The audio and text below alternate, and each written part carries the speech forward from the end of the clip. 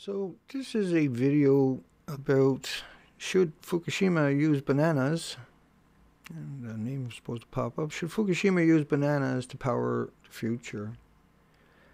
Um, and there's a comment there, and so when you click on it from Huma Team, what you ended up with was, and I'll get rid of this one here, uh, Tim Worstall. The Fukushima radiation leak is equal to 76 million bananas 76 million bananas. Wow. Just wow, Tim. What did the world do to you to make you that angry? I wonder that you would say something like that.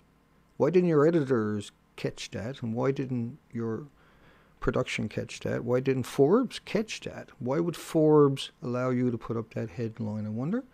76 million bananas. And what he's doing is he's talking about disintegrations per second with becquerels in the nuclear terminology of 40 trillion becquerels released into the Pacific Ocean so far. Now, this uh, article came out on the 8th, 10th day of um, 2013, so it wasn't very long ago. It's kind of interesting because Forbes went up for sale um, a couple of months later. Now, Tim also wrote this article here. Uh, NSA PRISM sounds like a darn good idea to me. That's what the government is for, to spy on you and track, trace, and database you and watch you all the time. Well, you can't make that stuff up. But yeah, Forbes went up to sale um, because they got people like that there, and the editors won't stop it, I guess. I don't know what's going on. Now, Tim, Tim, uh, he's got a blog. It's really bad. I'm not going to dwell on that one. But he was, uh, he sells, he's a consultant and a dealer in scandium and other exotic metals. Well, well, uh, scandium is an isotope. It's a short-lived isotope, which is really interesting, isn't it? That here's somebody that understands that, makes a living off that, but he's claiming that 76 million bananas is the equivalent of the radiation coming out of Fukushima. He's, he's, he's equi- so what he's doing is he's equating bananas with uranium-234, uranium-235. So if you took a piece of uranium-234, 235, the same size as a banana, you can kill everybody in your community. And then you can go to every community on the planet with that one piece, the size of a banana, the single banana, and you can kill everybody in every community. If you were dropped that into a uh, lake, you would pollute the lake till the end of time, and you would go to jail till the end of time. You would be the biggest criminal on the planet till the end of the time. If Al Qaeda had a banana size of uranium, which is what he's equating it to in this article here, and it's amazing that Forbes never caught this and that their editors never stopped this. But if you had a banana sized piece of uranium or plutonium, that's a dirty bomb. It's the same thing that they use in the A-10 Warthog to fire in other countries, but that's uranium-238 because it's underwent chain reaction. That's why 234, 235, the plutoniums, you know, 24,000 year half-life, but it's so deadly, it's so, uh, gets into your body so readily, it's, it's into your system so fast. Uh, this is amazing that somebody that deals in heavy metals, and, and, and scandium is actually a byproduct of uranium. And so he's equating uranium, 234, 235, that's coming out of Fukushima nonstop. At the, the New York Times, we're saying it's 600 tons a day. We got peer review models that show that the ocean is radiated just after the first two weeks of the releases in a six year period, but that's just using uh, cesium 137, uh, which is code word for uranium and plutonium, by the way because you'll never hear uranium plutonium put into a sentence. But uh, it's it's amazing that Forbes done that.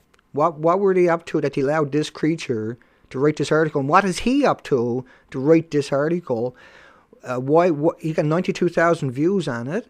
This is outrageous. This is an absolute betrayal of humanity that somebody would equate a banana with uranium 234, 235. Remember, reactors don't run on bananas, they run on uranium, plutonium. They don't run on strontium. They don't run on iodine 131 with a half-life of seven days, right? Think about the iodine 129 with a half-life 15 million years. Iodine 129, 15 million year half-life, right? And a half-life, you got to multiply it by 10.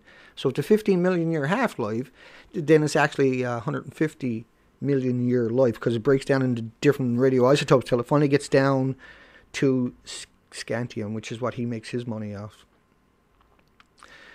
This is one of the most outrageous, most uh, criminal things you can imagine that you're looking at on the screen. It's embarrassing that somebody on this planet would do that, particularly embarrassing when somebody makes money off uranium byproducts, like Tim does. And I, I would like to see 2,000 blogs tear this person apart today and put an end to his career and his future, because that's what he deserves. We won't get our way, but that's what he deserves. And in the future, that's what people like this will be getting, except it'll be a million people screaming at him that he's a monster and that we need to put monsters like that away, right? Because he also wrote that article about PRISM, how the government should monitor everybody. That's what the governments are for, he said. So that's not a real human. That's a creature. That's a critter. Take care, folks. And uh, if you feel like a blog them out and tell them that a banana got nothing to do with uranium 234 uranium 235 plutonium. The situation may be worse than thought. Uh, studies from last year indicate that radioactive water will contaminate the entire Pacific Ocean in just six years. Kim Min-ji reports. This graphic shows the gradual contamination of the Pacific Ocean due to leaks of radioactive water from the crippled Fukushima nuclear plant in Japan. The simulation, which was run by a German Marine Research Institute, shows the entire Pacific waters being polluted by radioactive water in just six years. Uh, we need to get subscribed and get this unity stronger and beat YouTube at their own game. Okay, that's what this is about. Like I say, go to the remix button, hit the remix button. That way you'll have this video and, and keep up with this. Otherwise, you know, YouTube's just going to control us, guys, and it's, it's really bad.